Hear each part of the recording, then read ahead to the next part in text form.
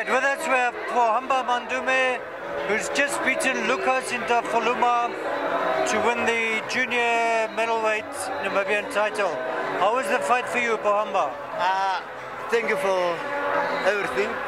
I've been training hard with my, my coach. He's always behind me, pushing me, and I appreciate the fight. It's, you know, to fight the president for the big names where you can make names, mate.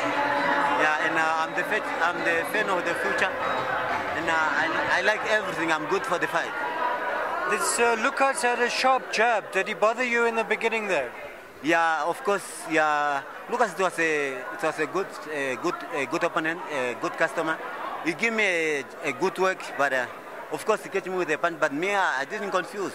I just focus with my, like my coach told me that if I receive a hard punch, I have to concentrate and I do my works. So where do you think you edged it? Was it with the counter punches or where did you have the edge? No, uh, I think he, he catch me with an, a, jab. He catch me with an, a jab. Then uh, the moment I want to retaliate, he was a good, a good fighter. But uh, to fight the president is not easy.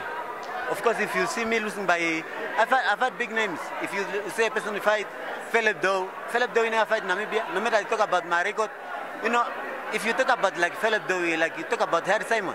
No matter how Simon is not boxing, there's no way I can stand it like Harry Simon. So if you see the president standing fighting Philip Doe, of course I can go ahead. I can fight for title, any titles. Yeah. So what's the way forward now? So by now, my my my my decision was leaving the box because I know there's no one behind me pushing me, so can I go far? So by now I'll go see because I'm under the Kinder promotion. I'll just go ahead what Kinder told me.